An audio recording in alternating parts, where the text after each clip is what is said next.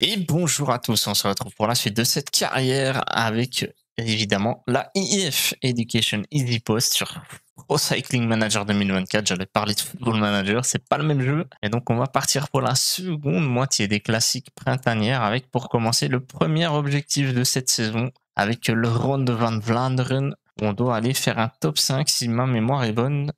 Ouais, c'est ça. Euh, clairement, on l'a vu, on a les jambes pour le faire, on a la capacité de le faire avec nos coureurs. Espérons cependant avoir des bonnes formes du jour, parce que là, clairement, c'est pas forcément toujours le cas pour le moment. Donc, euh, ce serait pas mal que la chance tourne un petit peu euh, de notre côté, en notre faveur. Est-ce que ce sera le cas? Réponse évidemment d'ici quelques instants. De votre côté, vous avez déjà évidemment vu le résultat du Tour du Pays Basque. Moi, je l'ai même pas encore commencé forcément.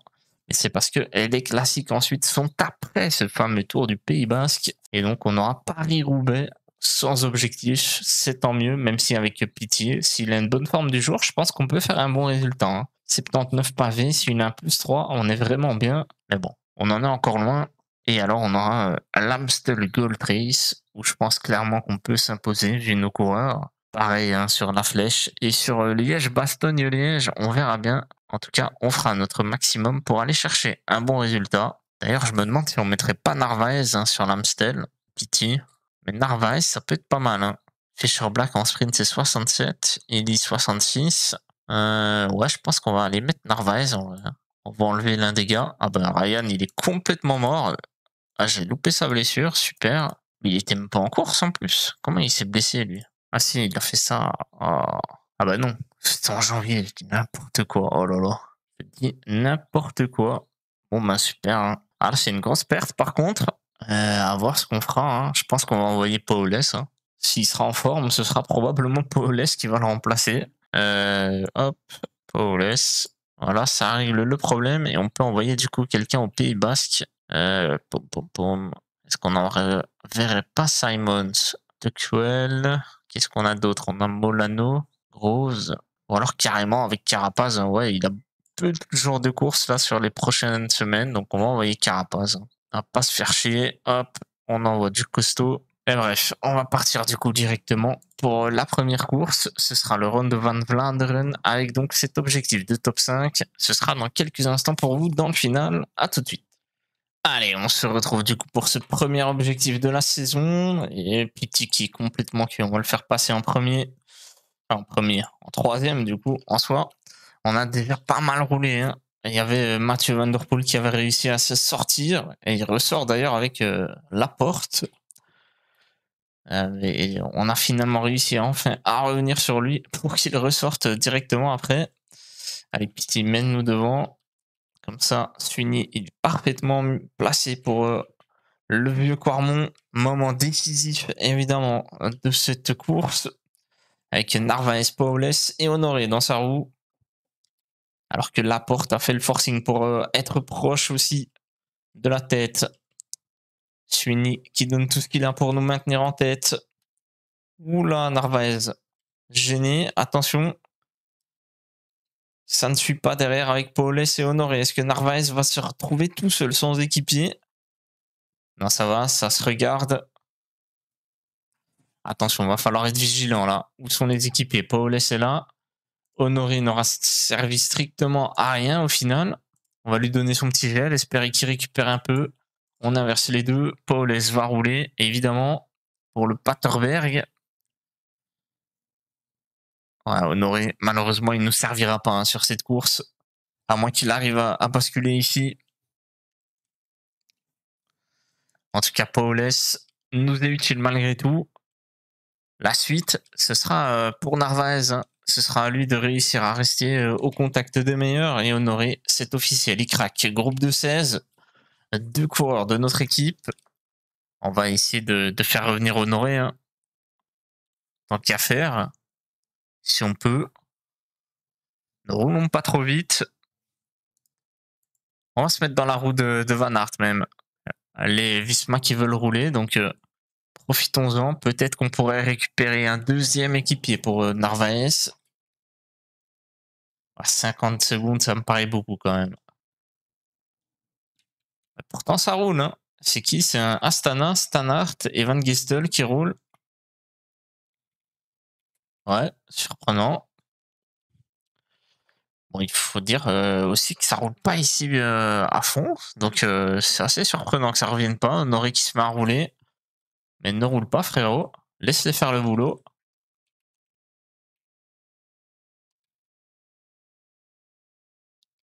C'est un arc qui a roulé et complètement cuit et ça attaque. Hop, on va partir au tempo, nous. Et du coup, ne reviendra pas. Ils étaient proches de revenir, mais du coup, bah, l'attaque forcément va enterrer tout espoir pour eux. Alors que Paulès continue de rouler. Ah Allez, Narvaez, qu'est-ce que t'attends Mets-toi dans la roue. Oh là là là là là là. Oh, le top 5, c'est mort. Hein. On va lancer de super loin.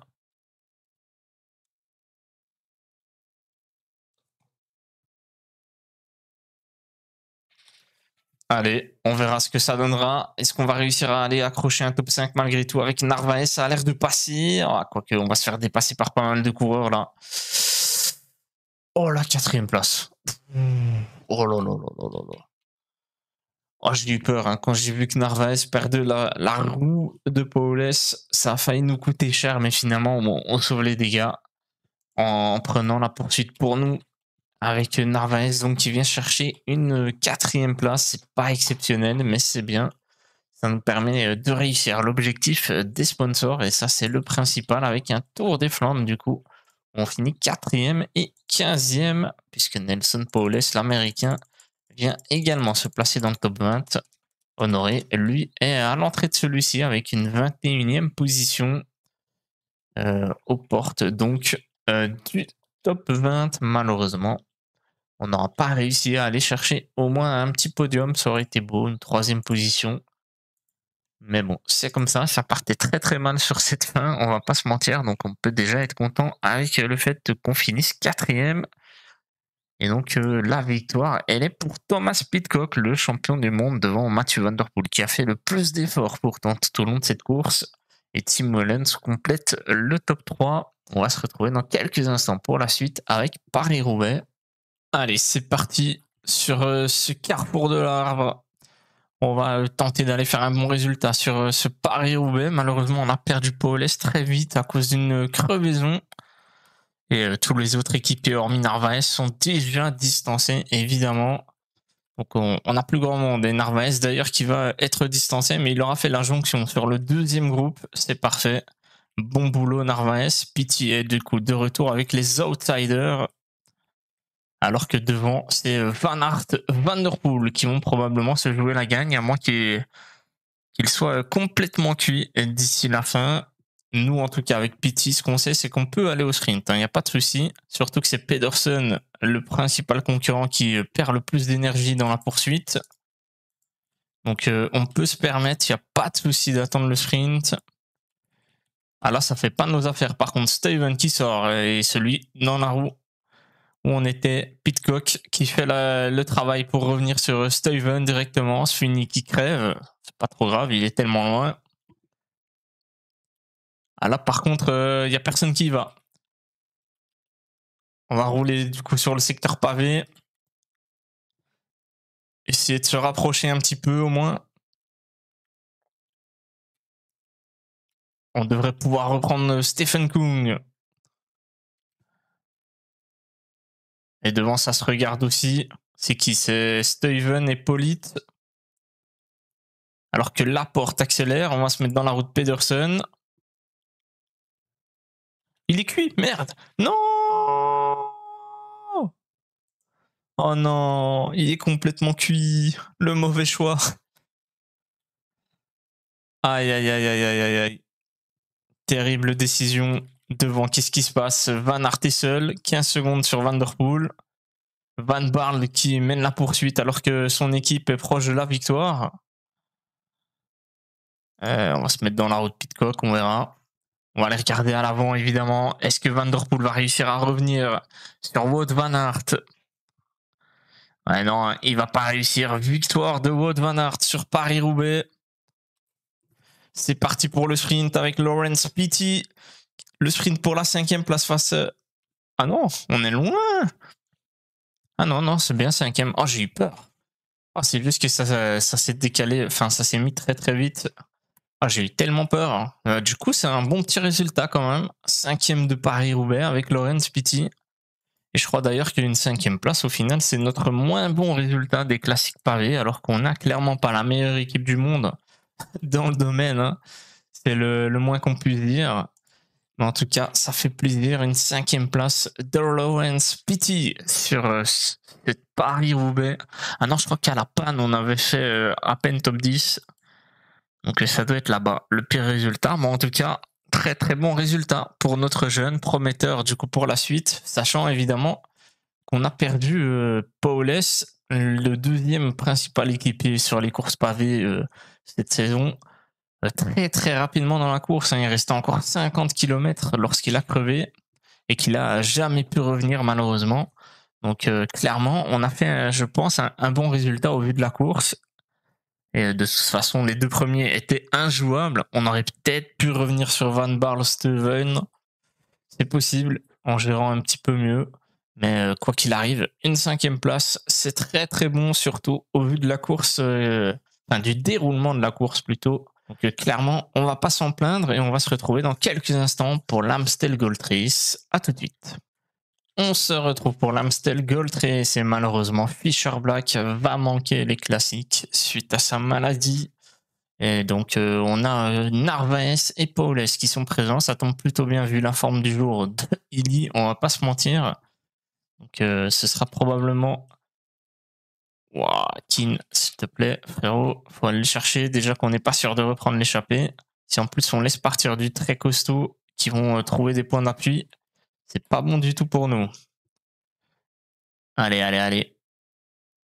C'est parfait. Testation. Kin s'est terminé à son tour. On va aller mettre Craddock en auto histoire qu'il vit sa vie. Allez, testation. Sur la bosse, il faut faire la diff. Faut reprendre du temps, absolument. Sur cet échappé qui commence à s'écrémer. Mais il y a du cosso, hein. c'est ça qui est inquiétant parce qu'ils ont encore plus d'une minute d'avance. Yates qui tente à son tour, les UAE qui tentent à de nombreuses reprises via différents coureurs. Et pour le moment, rien n'arrive à sortir. Allez, laissez-nous passer, s'il vous plaît. Terminé pour Tesfation.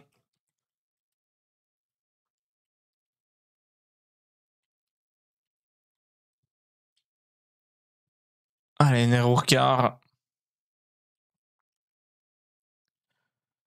Excellent boulot du Britannique pour ramener justement sur cette échappée.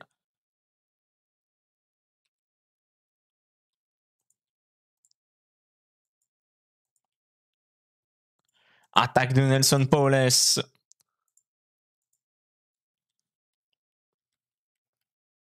que ça va aller au bout? On est dans un groupe de 5, personne veut rouler, ben on va pas rouler pour vous les gars. Hein. Wonderpool qui veut pas rouler.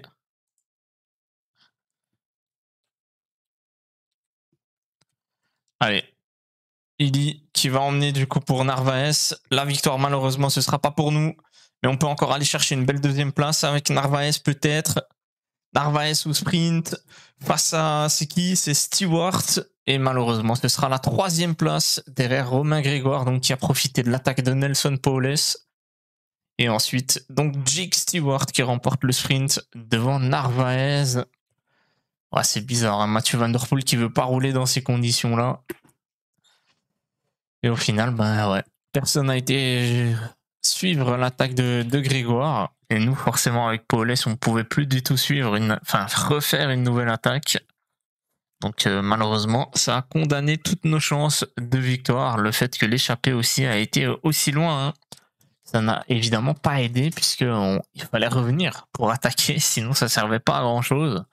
Et donc ici, on a perdu toute chance de victoire, mais au final, c'est quand même une belle troisième place pour Jonathan Narvaez euh, à 19 secondes hein, de Romain Grégoire qui a pris 19 secondes sur les deux derniers kilomètres. Bravo à lui. Victoire pour la Groupama. On va se retrouver dans quelques instants en Belgique cette fois. À tout de suite. il n'y aura pas du coup de probe de vidéo sur la flèche wallonne. Je sais pas ce qui s'est passé. Ça n'a pas. Euh, enfin, ça a enregistré le mauvais écran. Je comprends pas pourquoi tout à coup il a enregistré l'écran secondaire au lieu du principal. Euh, mais du coup, pour vous faire un petit récap, il y avait, on a du coup accéléré le tempo à, ici dans la côte de Ref. Ça a plutôt bien fonctionné puisqu'on a fait des gros écarts directement. On était du coup au mur de vie, plus qu'à 12 coureurs pour se jouer la victoire, donc façon complètement cuit. Mais surtout, il y avait Pogachar qui avait une dizaine de secondes d'avance, qui était, qui avait tenté d'anticiper et qui du coup se retrouve seulement dixième Tadej Pogachar. Nous, on a fait du coup un énorme tempo avec Nero Ricard sur le pied pour euh, bien se placer, faire mal aux jambes des adversaires. Et ensuite, Paules a essayé d'aller rechercher Skelmos qui a attaqué dès le pied, lui, de son côté, avec Maxime Van Gins. Malheureusement, euh, Paules a complètement épuisé Benili qui était dans sa roue. Et donc, euh, ben, on devra se contenter au final de ce, cette troisième place. Je pense qu'on n'arrive juste pas du sprinter en fait avec Nelson Paules. En gros, sur la fin, quand j'ai vu qu'on n'arrivait pas à revenir sur Skelmos et Van Gils sur les derniers centaines de mètres, euh, j'ai sprinté donc à un kilomètre environ avec Paules et Eli dans sa roue. Mais ça a complètement détruit Ben Eli, qui pourtant a, des bonnes stats physiques, hein. mais euh, ça l'a détruit d'être dans la route Paules et il a au final pas réussi à dépasser son poisson pilote parce que lui a amorcé son sprint une fois qu'il y a le léger replat sur la fin, on le voit là avec euh, des pourcentages verts et gris. Et donc, euh, malheureusement, on n'a pas du tout réussi à reprendre les deux qui ont attaqué dans le pied. On a fini dans le roue avec Nelson Paules. Hein.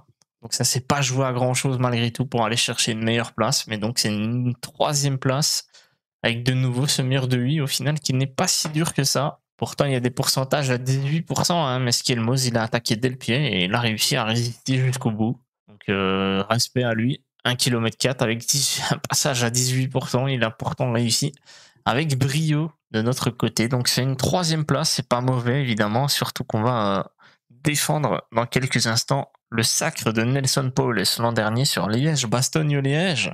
On pourrait avoir le retour de Fischer Black, mais je pense pas qu'on l'alignera. Hein. Ça ne sert pas à grand chose de toute façon. Lui qui a toujours ce virus malheureusement et qui est donc euh, indisponible. Je sais pas qui on, va envoyer pour le remplacer. Oh non, mais Colby aussi, il s'est blessé.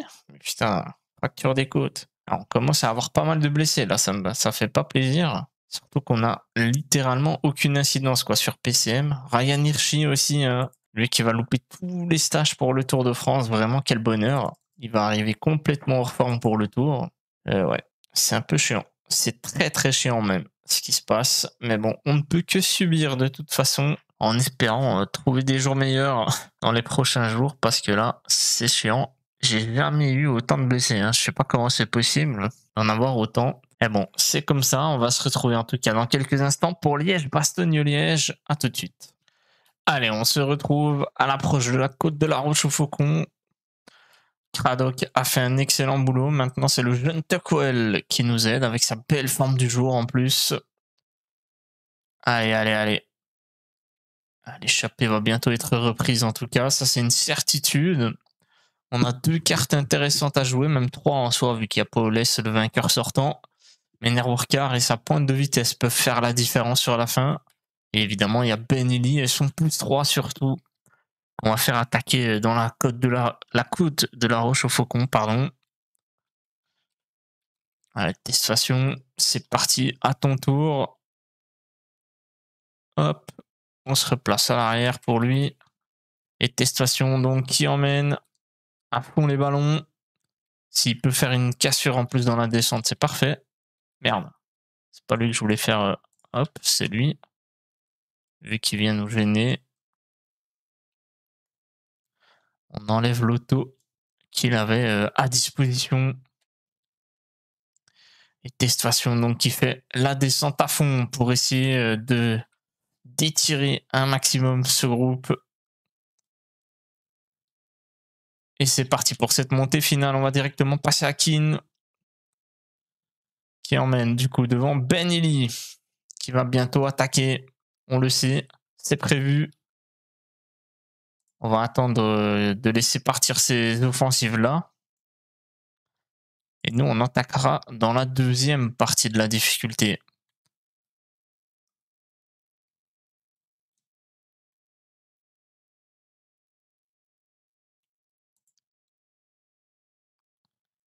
On va déjà faire ça. Kin qui fait un excellent boulot. Et c'est parti pour l'attaque.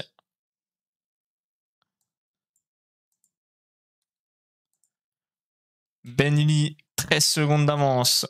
Va-t-il réussir à résister? Paules qui replace Nerourkar aux avant-postes en tout cas. Le vainqueur sortant qui joue le, jeu de l'équipe ici sur euh, cette épreuve. Alors que Ben est parti seul contre tous.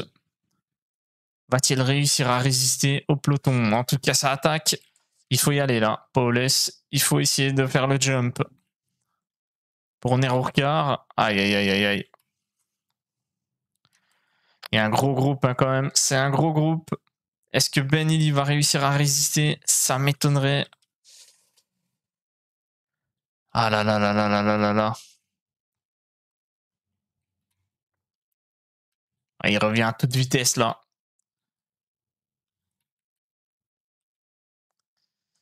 Allez, Illy, allez, allez. Oh oui, la victoire de Ben Illy. 2 sur 2 pour nous sur Liège-Bastogne-Liège, nos deux leaders principaux qui se seront imposés sur les deux premières euh, participations, pas épreuves, de ce Liège-Bastogne-Liège dans cette partie. Euh, victoire de Ben Illy, l'Irlandais, sur Liège-Bastogne-Liège. Et donc, première course qu'on remporte pour la deuxième fois de cette partie. Oh là là là là là là. Oh, ce fut compliqué. Hein. Ah, j'ai vraiment cru qu'il allait être repris par Maxime Gils, mais finalement, il lui a manqué un petit quelque chose au Belge de l'auto. Et c'est donc une victoire de Ben après notre victoire sur Gant Game, deuxième Classic World Tour remporté cette saison. Quel bonheur pour nous. Et euh, Ben donc qui fait rayonner notre maillot sur ce podium de Liège-Bastogne-Liège on le voit, hein, il n'y a pas d'écart du coup avec le groupe de derrière. Ricard qui fait deux de son sprint face à Kevin Vauquelin. Oh là là, quel bonheur, quel bonheur. On clôture du coup cette campagne des classiques printanières en beauté avec cette victoire de Ben sur ce monument qui nous permet donc déjà d'avoir euh, un monument cette saison de remporter. Et ça, c'est beau. Surtout qu'évidemment, ça va lui permettre de se replacer.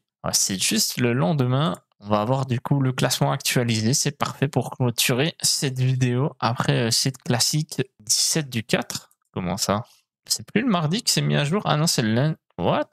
Euh, Le 17 du 4, il est où? Il est où? Il est où? Il est jeudi. Ok. Bon ben du coup il n'y aura pas de mise à jour, c'est dommage. J'aurais bien voulu voir ce que ça donnerait. En tout cas, on est toujours bien placé, même en termes de victoires, on est plutôt bien avec 16 victoires déjà. Les sponsors évidemment pour le moment sont ravis réussite pour le Tour des Flandres, réussite de l'objectif déjà avec 16 victoires cette saison. Pour le moment, on est dans le top 2 mondial puisqu'on est premier carrément. Donc euh, tout va pour le mieux jusqu'à maintenant. Espérons que ça continue comme ça. En tout cas, on se retrouvera euh, très prochainement pour la suite de cette carrière avec le Tour de Romandie où on va donc retrouver euh, Ben O'Connor qui va faire son retour à la compétition après sa participation en Catalogne. Il va euh, donc aller s'aligner sur le Tour de Romandie pour préparer son Giro d'Italia où on espère qu'il va aller nous faire des performances formidables. L'Australien de 29 ans déjà, mine de rien. En tout cas, on se retrouvera très prochainement pour la suite avec ce Tour de Romandie. Merci à vous d'avoir suivi cette vidéo et je vous dis à très bientôt.